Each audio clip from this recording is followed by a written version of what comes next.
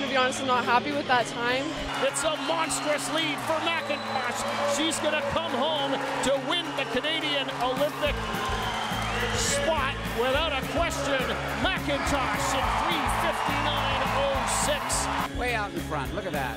You don't usually see this in, No. in big competition. Somebody this far out in front. I know I can go faster and it doesn't really reflect my training, but you know, just a time mark. I'm able to qualify my sec- for my second Olympic team, so I should never be taking that for granted, obviously, and I'm happy with getting on the supercars.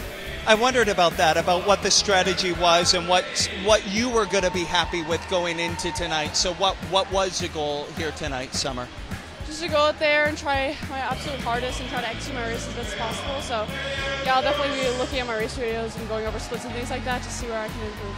A quick word about the crowd. This place was electric. Yeah, it means the world for people to come out and watch me, my friends, my family, my teammates. So anytime I get a race in front of a big crowd, it means the world.